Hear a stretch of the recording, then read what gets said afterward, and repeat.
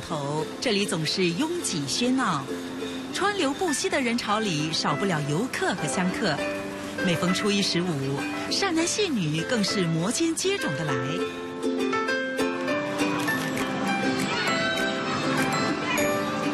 新加坡华人习惯叫这里做四马路，而不是滑铁卢街，因此这座亚博中心虽然有个文雅的名字，但人们更喜欢叫它四马路巴沙。亚博中心是在一九七九年新建的，楼上是祖屋，楼下有巴沙和熟食中心。熟食中心里头，八十多个摊位售卖着各种本地美食，各自有忠实的粉丝拥戴。这里有三十多年的历史，但不少摊贩其实早在上世纪六七十年代就在附近的三马路和白沙湖当街边小贩了。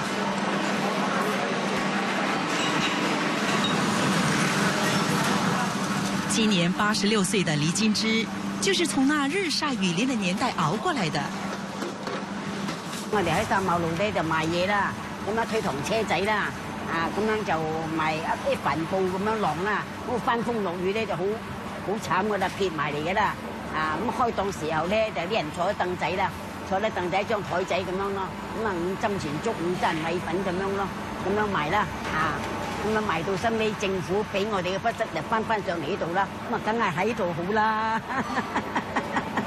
路邊幾凄涼啊！水浸啊，要踎上揾張凳嚟踎起啊！有陣時水浸咧，啊落雨大雨水浸咧，唔翻得佢入邊屋企咧，翻起風上嚟話啲墳要扯咗佢咧，要要要擔搭要搭搭住啲繩嚟綁住咧，好凄涼咧啊！黎金枝早年和丈夫离异，凭着一个早市档口养大了五个孩子。两个儿子和媳妇现在都在档口帮忙。老妈妈已经八十六高龄了，双脚不能站立太久，但还是坚持亲自下手炒米粉。它的粥啊、炒面都很好吃，外面已经没有这个味道了，婆婆煮的味道了。啊，婆婆的味道了，现在没有这个味道了，真的找不到了。Fatty actually have been patronizing them for a long time, and they are very reasonable because for breakfast you can actually have something very substantial for three dollars. 以前他们在上马路那时，呃，我还小的，我还小，我去那边都已经吃的差不多算得来有四十年了了。食物好吃是因为摊主的坚持。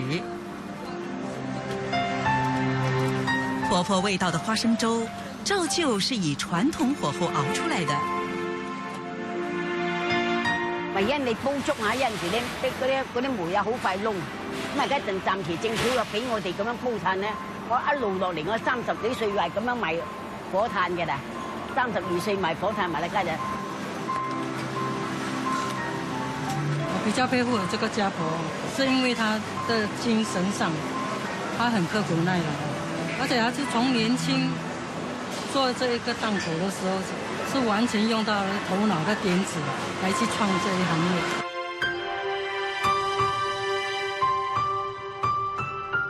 同样坚持用老方法的，还有这个甜品档，绿豆爽、绿豆西米、白大麦、黑糯米，都是摊主一家人用双手准备的。我们一个礼拜只做三天生意，因为准备工作很长。对，那豆从啊原料来的时候，要经过很多步骤，要洗、要蒸、要烫，然后才拿去蒸。对，所以是一个很长的时间。单单准备工作就差不多要花五六个钟头了，所以不可能每天卖。所以在一花一天时间准备，然后隔天才有那些原料来卖。我非常的怀旧啊，所以特地来找这个档口来吃我的这个捣蒜，非常的吃的感觉到很很幸福的感觉了。现在这个绿豆西米在新加坡很难找得到的，很有古早味的。张少喜经营甜品档有十三年，也是从街边起家的。两年前，他把档口交给了儿子明义打理。我也慢慢有年纪了啦，而且我的体力也就不不大够了，所以我就想把我的手艺传给我孩子啦。他的脚因为长时间的站立，所以血液不循环，就很辛苦，所以一休息可能会休息多三四个月这样。连这三四个月，啊、档口的租金要还，杂费要还，收碗盘的钱要还，就是他的电单车的那个私人 parking 也要还，就是很多负担。对，就觉得说这样下去也不是办法。二十七岁的明义是个大学毕业生，之前在人力资源公司工作。虽然小时候常到档口帮父亲，对这里的一切并不陌生。不过，真正当起了小贩，每一天都很漫长。在小贩中心工作时间都很长，一天十四十五个钟头，所以呃，私生活的时间就比较少，跟朋友相聚时间相对也少了很多。当然是比较喜欢办公室的环境，因为啊、坐这又冷气，而且同事都是同年龄层的，呃，相对这边都是安感低。不过做久了，跟他们混熟了，大家跟朋友这样有说有笑，所以也不错了，其实。明义的愿望是开设糖水连锁店，传承父亲的手艺。现在还表现还不错啦，还只要他有更更大大的耐心哦，这样他是可以继承我的小贩事业的。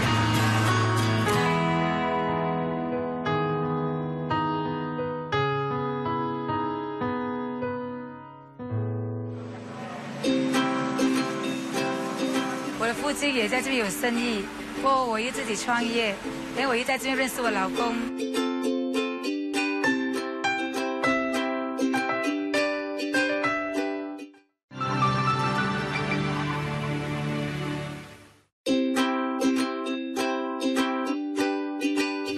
干贝、红枣枸杞，二十多间海味店堆满了干粮和中药材，从几块钱的海味到上千元的补品，应有尽有。这是亚博中心二楼的一大特色。李延坡是最早在这里开海味店的小贩。小时候随父亲从印尼来新加坡讨生活，就住在四马路观音堂对面的亚达屋。他一开始在三马路奎因街的街边摊卖杂货，皮蛋、咸菜、虾米，能赚钱的他都卖。以前的三马路你看起来很平静，其实是是很复杂。以前的四马路就是特别的，就是社会党咯，社会党时常拿来收小贩那边收钱啊，打架咯，这样哦。他要两块就是给给两块他了，不要帮他讲太多了。然后政府出来抓，自动消失了。一九七九年，李延坡和许多小贩被安置到亚博中心，结束了十多年的街边生涯。可是生意却不比往日。还有这么长的日本哦，那个那些也是做一点杂货啊，杂货做了没有什么成成绩，然后就慢慢改，想办法改行哦。看到人家卖药材，我也跟人家去买一点药材来，去看人家大坡啊，海香港街那边啊，海山街那边啊，去走去看，看到人家的药。洋参啊，买一点洋参回来卖，卖的可以嘞，很很好卖嘞，越卖越多咯，很好卖。隔壁左邻右舍又看又又去找咯，找来卖咯，越卖越多，越卖越多，每间差不多卖了，哇，很旺很旺咯，很旺很旺，变成一个成一个市咯，一个市场。生意慢慢做大了。李延坡在亚博中心格林的名古联大厦买了另一间商店，扩充营业。除了多年来一起打拼的妻子之外，他的一对儿女也加入海味店的经营团队。女儿美宝原本在拉萨尔艺术学院修读平面设计，经父亲的劝说后，决定放弃设计课程。爸爸有跟我讲过，因为美术是可能是个兴趣，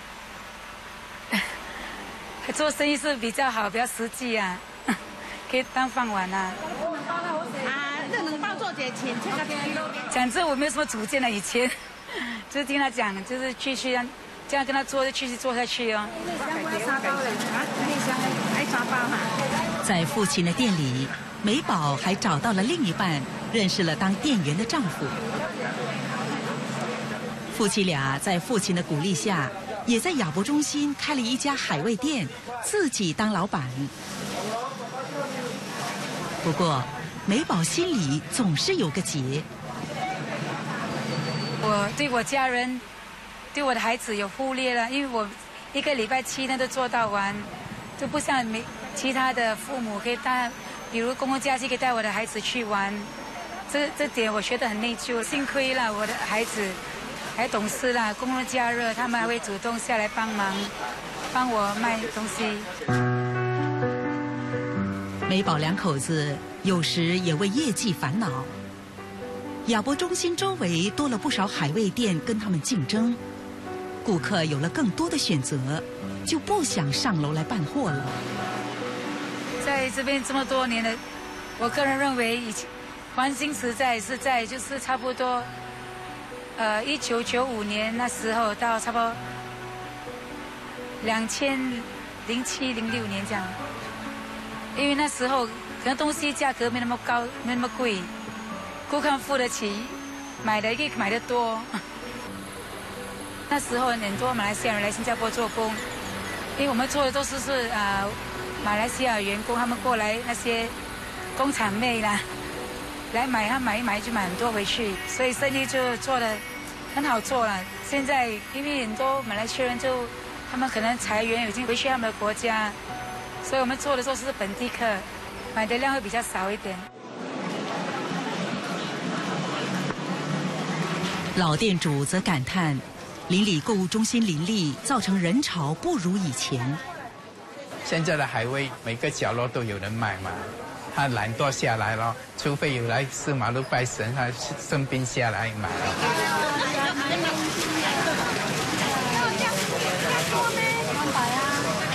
过四马路毕竟还是外国游客慕名的地方，李延坡的店里还雇佣了几位外地员工。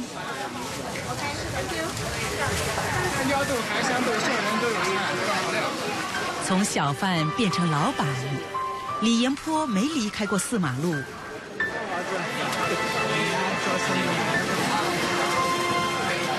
店里也有一位老员工，跟着他发迹的脚步，服务了十九年。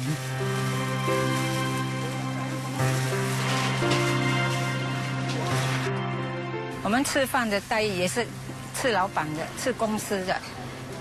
午餐有时候偶尔点心也是老板给我们吃。老板还曾经带我们出国去旅行，就是全部的员工去中国，然后呃偶尔还会带我们去啊马来西亚、马来西亚玩。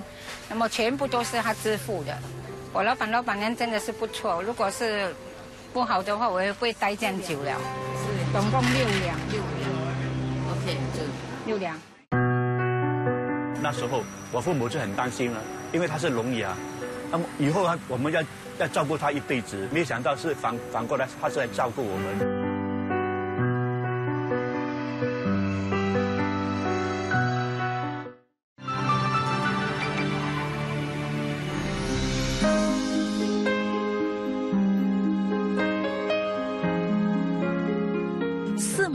一直以来是个龙蛇混杂的地方，充满着真实不过的市井气。脚也烂了哈，啊，以后死的可能做鬼都没有脚，看到吗？可怜。有人在这里发迹了，但也有人每天为着三餐温饱而发愁。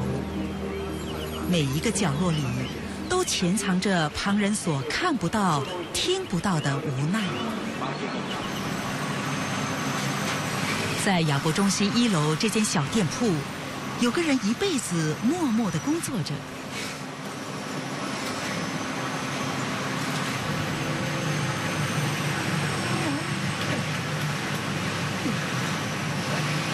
给他车整十年了，因为我是每次来这边买东西，等我就给他改衣服了。我们每次要跟他指了，我们大概大概跟他指，他就知道。有时候要改那个裤，也是跟他指，他就知道。简单啦，用手撕就可以了，然后就是长一些这样就可以了。要花要短，他他会知道了。今年七十一岁的王清祥，天生聋哑，当了一辈子的裁缝。小时候，父母就送他到职业学校学裁缝，希望他有一技之长，能照顾自己。王清祥有两个弟妹，弟弟清茂从小到大一直在他身边，帮他说话，表达心声。因为学裁缝的话，可以在家里在家里做，我们就能够照顾到他，可以看到他。这样的话，他就他就去那个学校，就这些学校，就学学这个裁缝这行。那么他学了裁缝出来之后呢，他就本来是在在那些裁缝店里面工作的了。不过他他有有种创业的心呢，他想要自己自己创业。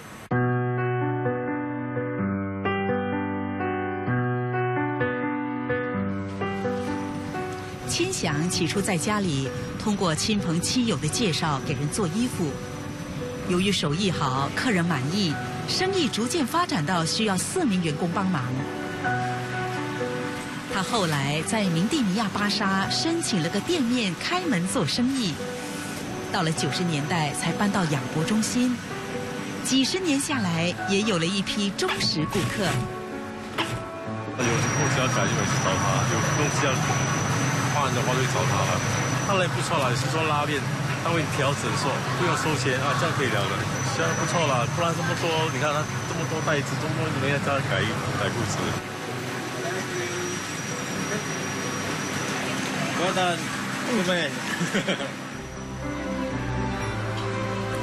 裁缝店商号祥茂是兄弟俩的母亲起的，希望他们俩一起当裁缝，可以互相照顾。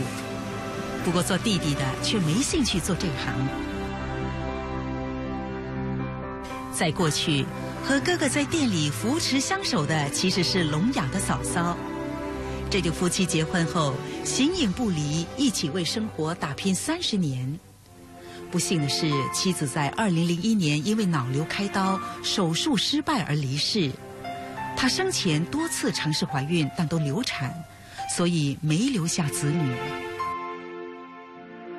他他的去世对他的打击也是相当大，他也是忧忧忧伤的一一一段时候了。他是和我讲过，因为他他要工作七天，因为如果有有有休息的话，他就会很无聊，他会想想起他太太，想起妈妈。所以他我在我的观察，他是利用工作来麻醉自己那样。兄弟俩的母亲前几年也去世了，留给哥哥的更是难言的伤痛和孤寂。秦祥看在眼里，心里的愧疚也不时浮起。但我哥哥在小的时候啊，那时候我父母就很担心了，因为他是聋哑，那么以后啊，我们要要照顾他一辈子，啊，那我我我父母想说，我们这样这样年纪这样大的，以后要供谁来照顾他？可是没有没有想到，他他学会了这裁缝之后呢，我爸爸又又中风了，那时候中风，我母亲是家庭主妇，我们家里没有什么收入，不是完全是靠他靠他工作，靠他做车衣来来来养家，这是我们完全没有想到的。想当年我们是以为我们要照顾他一辈子，这没想到是反反过来，他是来照顾我们，这点我们很感激。如果没有他，我和我姐姐就没办法完成学业，啊，也也没有也不懂怎么生活下去。亲茂的妻子现在一个星期总有两三天到裁缝店帮忙，解决亲祥碰到的针线问题或者沟通障碍。